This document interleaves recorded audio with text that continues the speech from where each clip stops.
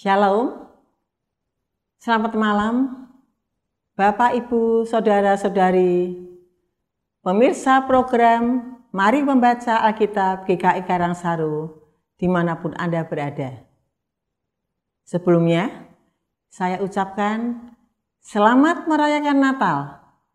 Kiranya damai Tuhan akan selalu ada di dalam hati dan dalam dalam hati kita dan dalam hati keluarga kita semua.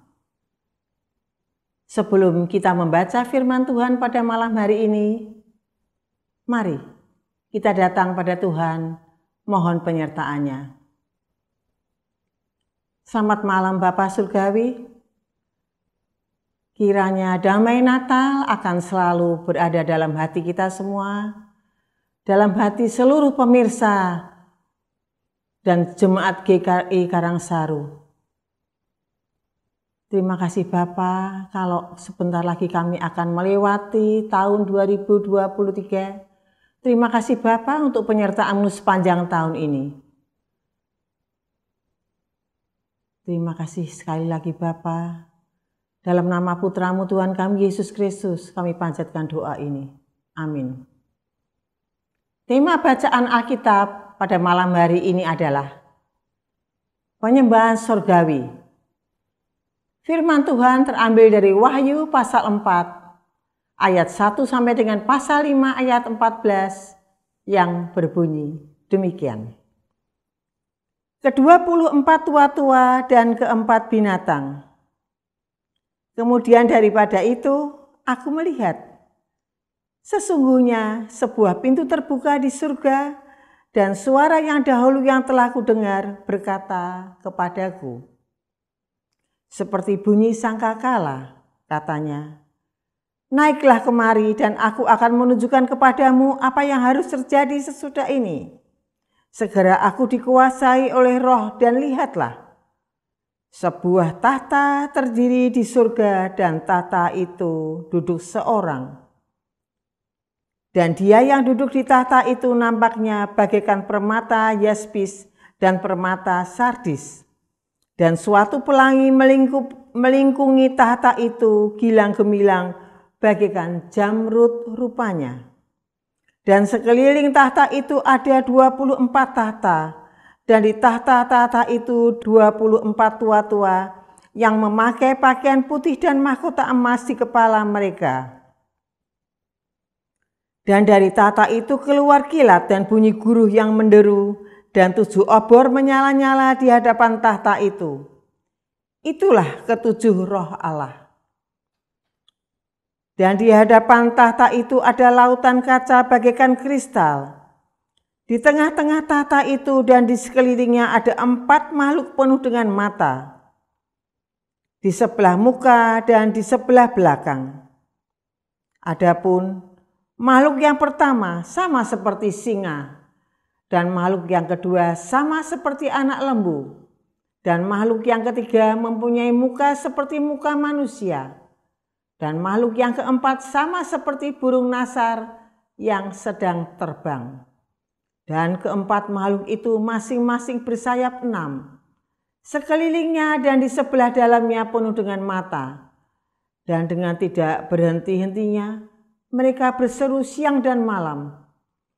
Kudus, kudus, kuduslah Tuhan Allah yang Maha Kuasa, yang sudah ada dan yang ada dan yang akan datang. Dan setiap kali makhluk-makhluk itu mempersembahkan puji-pujian dan hormat dan ucapan syukur kepada Dia yang duduk di atas tahta itu dan yang hidup sampai selama-lamanya. Maka Tersungkurlah kedua puluh empat tua-tua itu di hadapan dia yang duduk di atas tahta itu. Dan mereka menyembah dia yang hidup sampai selama-lamanya. Dan mereka melemparkan mahkotanya di hadapan tahta itu sambil berkata, Ya Tuhan dan Allah kami, Engkau layak menerima puji-pujian dan hormat dan kuasa, sebab Engkau telah menciptakan segala sesuatu, dan oleh karena kehendakmu, semuanya itu ada dan diciptakan. Pasal 5 kitab yang dimeterai dan anak domba. Maka aku melihat di tangan kanan dia yang duduk di atas tahta itu sebuah gulungan kitab yang ditulisi sebelah dalam dan sebelah luarnya dan dimeterai dengan tujuh meterai. Dan aku melihat seorang malaikat yang gagah yang berseru dengan suara nyaring katanya, Siapakah yang layak membuka gulungan kitab itu dan membuka meterai-meterainya? Tetapi tidak ada seorang pun yang di surga atau yang di bumi atau yang di bawah bumi yang dapat membuka gulungan kitab itu atau yang dapat melihat sebelah dalamnya. Maka menangislah aku dengan amat sedihnya, karena tidak ada seorang pun yang dianggap layak untuk membuka gulungan kitab itu, ataupun melihat sebelah dalamnya. Lalu berkatalah seorang dari tua-tua itu kepadaku, Jangan engkau menangis, sesungguhnya singa dari suku Yehuda yaitu Tunas Daud telah menang, sehingga ia dapat membuka gulungan kitab itu dan membuka ketujuh meterainya. Maka aku melihat di tengah-tengah tahta itu dan keempat makhluk itu dan di tengah-tengah tua itu Berdiri seekor anak domba seperti telah disembelih, bertanduk tujuh dan bermata tujuh. Itulah ketujuh roh Allah yang diutus ke seluruh bumi. Lalu datanglah anak domba itu dan menerima gulungan kitab itu dari tangan dia yang duduk di atas tahta itu. Ketika ia mengambil gulungan kitab itu, tersungkurlah keempat makhluk dan keempat puluh empat tua-tua itu di hadapan anak domba itu. Masing-masing memegang satu kecapi dan satu cawan emas penuh dengan kemenyan. Itulah doa orang-orang kudus. Dan mereka menyanyikan suatu nyanyian baru, katanya. Engkau layak menerima gulungan kitab itu dan membuka meterai-meterainya, karena engkau telah disembelih dan dengan darahmu Engkau telah membeli mereka bagi Allah dari tiap-tiap suku dan bahasa dan kaum dan bangsa. Dan engkau telah membuat mereka menjadi suatu kerajaan dan menjadi imam-imam bagi Allah kita, dan mereka akan memerintah sebagai raja di bumi. Maka aku melihat dan mendengar suara banyak malaikat di sekeliling tahta, makhluk-makhluk dan tua-tua itu Jumlah mereka berlaksa-laksa dan beribu-ribu laksa, katanya dengan suara nyaring. Anak domba yang disembelih itu layak untuk menerima kuasa dan kekayaan dan hikmat dan kekuatan dan hormat dan kemuliaan dan puji-pujian. Dan aku mendengar semua makhluk yang di sorga dan yang di bumi dan yang di bawah bumi dan yang di laut dan semua yang ada di dalamnya berkata, Bagi dia yang duduk di atas tahta dan bagi anak domba adalah puji-pujian dan hormat dan kemuliaan dan kuasa sampai selama-lamanya. Dan keempat makhluk itu berkata, Amin. Dan tua-tua itu jatuh tersungkur dan menyembah. Demikianlah sabda Tuhan. Syukur kepada Allah. Bapak Ibu, saudara-saudari yang dikasih Tuhan, suatu hari saya mendengar seorang berkata, saya tidak mendapat apa-apa dari kebaktian hari Minggu yang lalu. Apa yang saudara pikirkan ketika saudara mengingat tentang ibadah setiap hari Minggu? Apakah yang saudara pikirkan adalah doa yang lama dan kaku?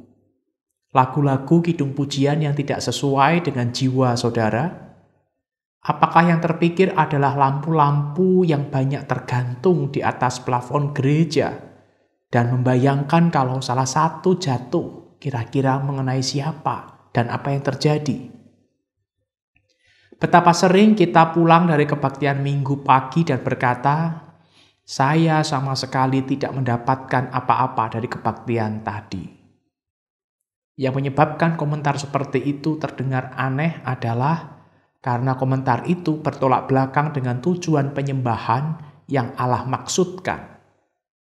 Dalam Wahyu 4 dan 5, kita tercengang dengan apa yang dipertontonkan, sebuah penyembahan di altar surga.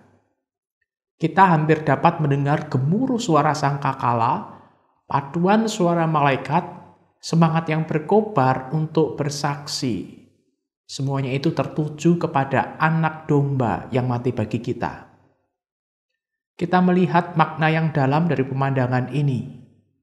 Musik Kata-kata, pujian, kesaksian, tidak ada dari hal-hal ini yang bertujuan untuk menghibur manusia. Sebaliknya, semuanya ini dilakukan hanya untuk Tuhan. Semua yang ambil bagian dalam kebaktian itu adalah pelaku, dan penontonnya adalah Tuhan. Ketika Tuhan Yesus datang ke dunia, ia disembah oleh para gembala dan orang-orang Majus. Mereka datang dengan pemberian dari hati mereka dengan tujuan utama bayi yang berada di dalam kandang, bukan bagi diri mereka sendiri. Demikian pula seharusnya dengan penyembahan kita. Paduan suara dan pendeta bukan untuk menghibur kita, Tuhanlah penontonnya. Kita semua adalah pelaku.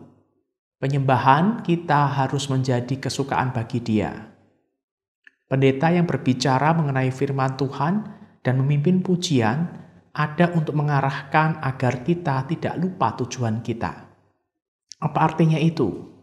Sederhana saja, yaitu minggu depan pertanyaan bukanlah apa yang aku dapat dari kebaktian ini, tetapi yang harus kita tanyakan adalah apa yang telah kuberikan kepada Tuhan dalam kebaktian ini. Mari kita berdoa.